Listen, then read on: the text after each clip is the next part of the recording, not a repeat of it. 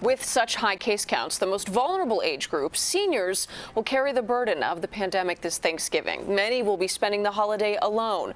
Our Charlie De Mar shows us why the gathering for them is more than the feast.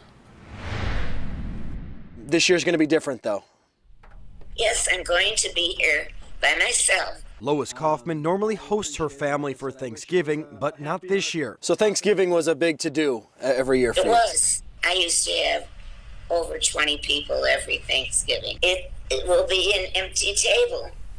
Uh, and I'm fine. It's, it's what we have to do now, or at least my family feels that way.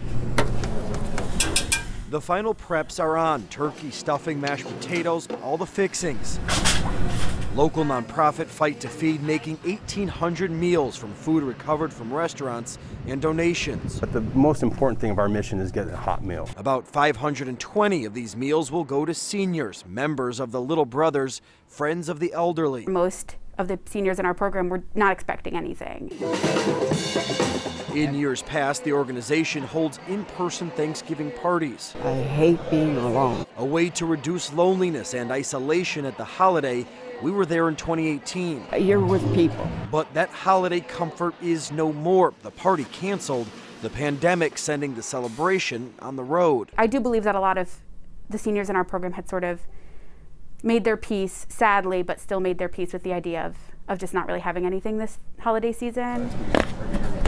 But the seniors will get that holiday meal. Volunteers planning to drop hot dinners off door to door. People just feeling very loved and cared for that we found a way to make this work. Along with those 500 plus meals that are going out, these bags will also be going to those seniors who have lost contact or just don't have family in the area. But this year, even more seniors who still do have contact with their family find themselves alone. I wish everybody would be very careful and have a safe and virtual Thanksgiving. Charlie De Mar, CBS 2 News. Thank you, Charlie.